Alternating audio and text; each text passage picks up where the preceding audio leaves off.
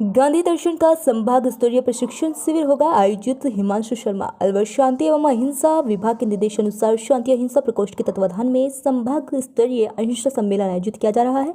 जिला संयोजक हिमांशु शर्मा ने बताया कि 16 अगस्त को प्रातः दस बजे प्रताप ऑडिटोरियम में अहिंसा सम्मेलन में प्रदेश के कैबिनेट मंत्री टीकाराम जूली शांति एवं अहिंसा निदेशालय के निदेशक मनीष कुमार शर्मा, सवाई सिंह गांधी विचारक, गांधीवादी विचारक धर्मवीर कटेवा एवं श्रीकर झुंझुनू दोषा जयपुर अलवर के वरिष्ठ गांधीवादी कार्यकर्ता भाग लेंगे।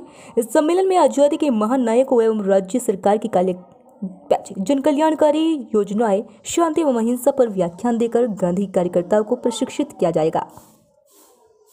शांति एवं अहिंसा विभाग के निर्देशन में जिला शांति अहिंसा प्रकोष्ठ के नेतृत्व में कल प्रातः प्रताप ऑडिटोरियम में प्रशिक्षण शिविर का आयोजित किया जा रहा है।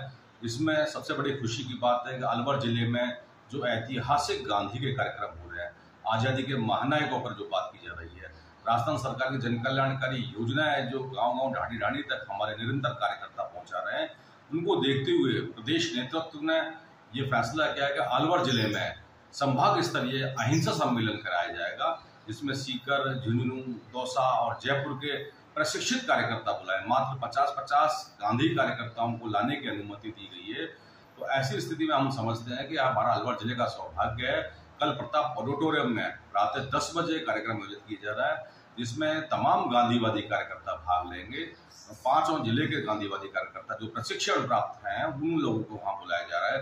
जो वरिष्ठ गांधीवादी लोग हैं, उन्हीं को पाँचों जिलों से बुलाया जा रहा है। संख्या भी काफ़ी सीमित की जा रही है और इस अवसर पर प्रदेश के हमारे टीकाराम जूली जी हैं, शांति एवं निशा निदेशालय के निदेशक मनीष कुमार शर्मा जी हैं, सवाई सिंह जी हैं तरफवीर कटेवा जी हैं, आरपीएससी के पूर्व chairman professor P N Sharma ji हैं, सतीश रॉय जी हैं और हमारे सभी जिलों के जिला संयोजक, सह संयोजक, ब्लॉक संयोजक सहित तमाम पदाधिकारी गण यहाँ आ रहे हैं। निश्चित रूप से जिस तरीके से इस देश में शांति और अहिंसा का अभाव हो रहा है, ऐसे में अहिंसा आंदोलन अहिंसा के सम्मेलन करने की हम सभी को आवश्यकता पड़ी है। ऐसी स्थिति में हम सभी गांधीवादी कार्यकर्ता कल एक दिवसीय शिविर का आयोजन करने जा रहे हैं।